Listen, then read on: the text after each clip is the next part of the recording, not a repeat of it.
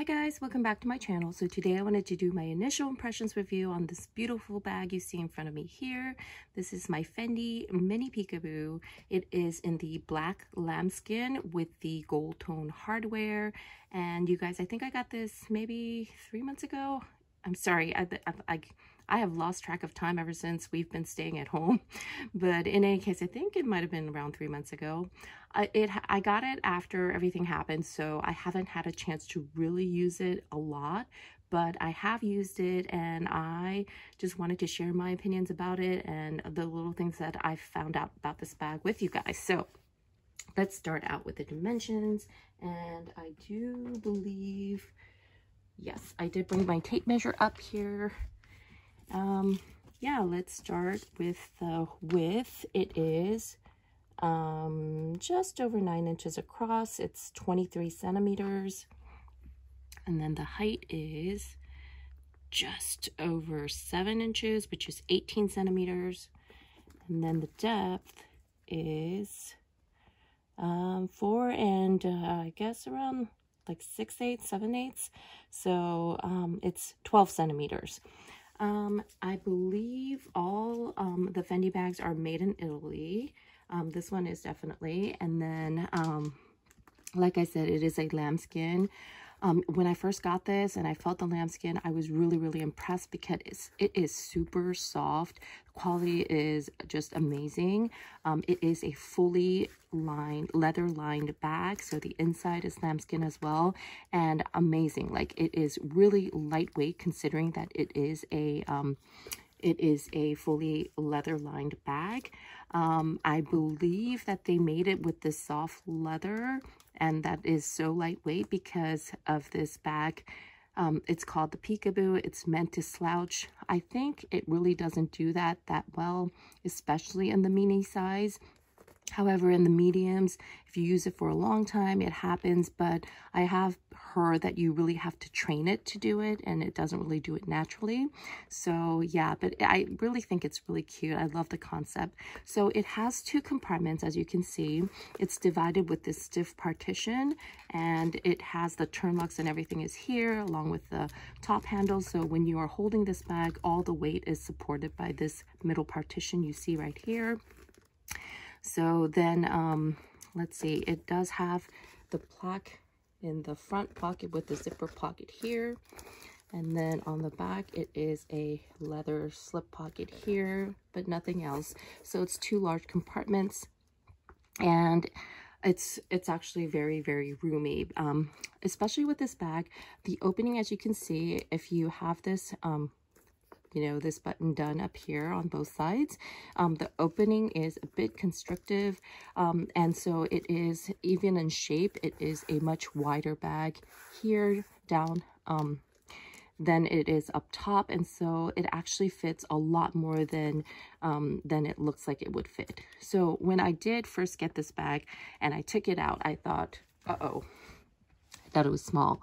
Um, I didn't remember it being this small. I had seen it a long time ago, but yeah, I, I hadn't seen it in person in a while. And so when I got it out, I thought, oh, it's smaller than I thought. And I was a little bit worried that it wasn't going to hold as much as I needed it to, but I found that it did. And I'm going to share that with you right now. So first off, my mini pochette. I carry this with me all the time, everywhere. And that will fit into the bag either horizontally or vertically. So, um, yeah, let's put it in horizontally just for now. Um, and then I would also need to usually take my keys, although um, I haven't been using this that much recently, and I will show you the piece that I use all the time these days. It is another recent purchase. It is this little guy right here. I have everything I need in here. This is all I need to carry, and you guys know this comes with the strap, which I have tucked inside. But yes, this will fit right here up top. Um, let's see. The mini pochette or mini O case from Chanel will also fit. And then a zippy coin. And you guys know these are like the essential SLGs that I always carry with me. Um, let's see if we can fit anything else. And you know what? If you really wanted to pack it, you could. So, yeah, just to show you guys my small um, PM agenda from Louis Vuitton would also fit in here. I have a feeling it's going to fit in horizontally there as well. So look at that. And if you look at it, it doesn't really, like, can you see that the shape is actually holding up so well? Now, if you did utilize the turn locks, this would not be possible. But because I like to use it as a open top bag, this is how much you can fit into it. And I'm telling you, it fits a ton. So I feel like I could also fit in my hand cream. Yeah, it'll slip in there. I kind of have to force it in. I won't lie. But yeah, like um, usually I will not take my PM agenda. Just um, wanted to demonstrate that it will fit.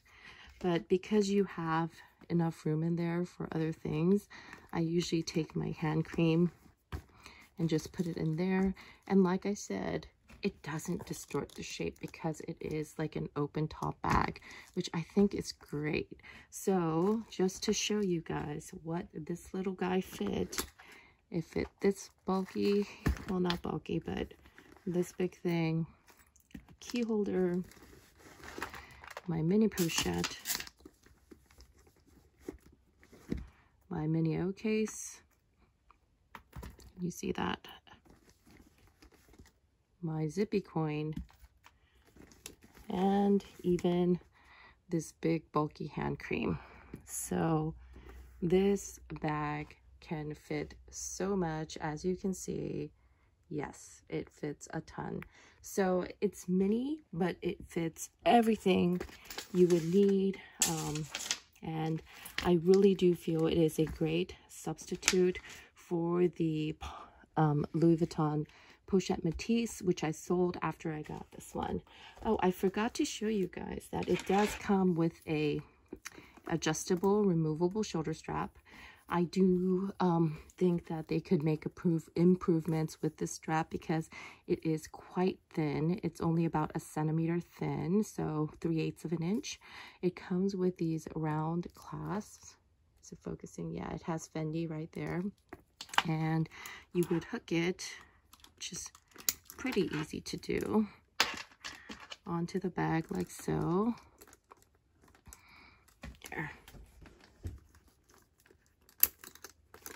And yeah, it is really adjustable, but um, I think they overdid it because there are too many holes. Like, I feel like you could you could have made it so that it would go shorter rather than longer. But what they did is they only have you know, um, short, the, it only gets shortened up to here, but then you have all this strap to lengthen. And I think that's a miscalculation on their part because I can see people wanting to hold it shorter, you know, as like a shorter shoulder bag. However, I don't see anybody that would want to extend it to the length that you could extend it and wear it as like a knee bag. so I don't know why they did it that way, but it, it is what it is. Um, I know Fendi has amazing straps that they sell separately, and I believe they were one of the first um, fashion houses to really incorporate the additional strap idea. And um, the prices are pretty up there. Fendi itself is a pretty pricey um, fashion house to begin with. However, um, there are plenty of options for you to choose from if you want to. And another great thing about the mini peekaboo, as you guys all know, is this beautiful Defender cover. And um, I did ask around whether or not this was worth it before I purchased it, but I am so happy that I did because number one, it gives you a totally different look like everybody says. And then number two, it really does protect this lambskin bag, especially these days because, I mean, I don't like to wipe down this bag too much, although I could. And then I do worry about like scratches and banging it up and then the corners, especially because this one does not have feet. And so you would have to place it on the ground. Whereas if I keep it in the Defender cover, it just makes it such a like carry-free, worry-free bag. So I really, really do appreciate having this Defender cover. So the Fendi um, also comes with this cute little rain cover, and I thought I'd share that with you guys as well. Um, so it has its own little pouch. And look at that. It is absolutely adorable. Oh my gosh. So if you were caught in the rain and you had this with you in your bag, you could pretty much just quickly take it out, pull it over, and how cute is that? Seriously. I think that is a very cute little touch that they have. And yeah, it it's it's just really cute. I I think it's really cute. Although, um, if you have the Defender cover, you really wouldn't need to have this rain cover with you. But when you're carrying it like this and you are caught in a downpour, yeah, this would come in very, very handy. Let's see. The pros of this bag is, number one, it is absolutely stunning, beautiful, very feminine. I know this bag also comes in the Selleria, um, but um, that one is a bit more expensive, although the, the, the leather seems to be a bit more carefree and user-friendly. I feel like this Napa leather, it just has a different look. It's, it's the rounded um, curves of this bag, I feel makes it such a... Um, feminine, dainty, cute little bag. And I do prefer them to the to the more square, boxy look of the Selleria, although it is, you know, just, you know, whatever you prefer. Um, but yeah, I really love how, um, how this looks. I love the rounded corner. Another major pro of this bag is this top design. Um, it is an open top that you can use like this. It is so easy to get in and out of this bag, get your items and everything. And then this top handle. I mean, oh my gosh, like I did not know I was a top handle person until I got bags with top handles that I really, really loved. And I always thought I needed straps, but now I don't think that anymore. I mean, this top handle just makes it so easy to grab and go and it's beautiful as well. So I really think that is another great pro of this bag. And it just makes it so much easier to carry around with you. And then if you're grabbing it from the passenger seat of your car, it's just so, so easy. So that is another major pro of this beauty right here. So some of the cons that I found with this bag is number one, that when you do use the turn locks, it does leave um, the shape a little bit, you know, distorted. I feel like some people will see a lot of pulling um, going here and while others will see this part kind of, I don't know, like it, it just makes it look really flat and not as puffy. And um, it happens on both sides as well. So yeah, that's the one thing. Um, and then it limits the space to um, to be a lot less than it can, you know, really hold. And so I do not um, like using it closed. However, it does give you the added protection when you need it to be a little bit more secure. Another con that I found with this bag is that the leather, it is very, very soft, which is in a sense, it's a pro because it's so soft and so luxurious. However, on the downside, um, it does, um, I guess, lose its shape over time. And so I feel like this would be an, um, you know, a, a, a, very good candidate to use a bag organizer in. And I know that, I think Samorga just came out with um, the bag organizers for the Fendi Peekaboo. So I am considering getting it. However, yeah, like, I don't know what it is about me, but I cannot make myself get expensive bag organizers. I don't know what it is, but anyhow, that's just me. Um, I do feel like this bag would be a good, um, it would be a good investment to make for this bag in particular because of its um, if of its soft leather. I feel like you do need it to um, retain its shape. And I did get this one pre-loved, and as you can see, that person did say that they got the Defender cover to use with this bag quite often so that it did not get scratched up and it is really good but you can see that there are stretch marks here and here and also there and there. And I feel like this person, whoever, um, might have used a long wallet. Do you see? Like, I feel like that is just the size of a long wallet.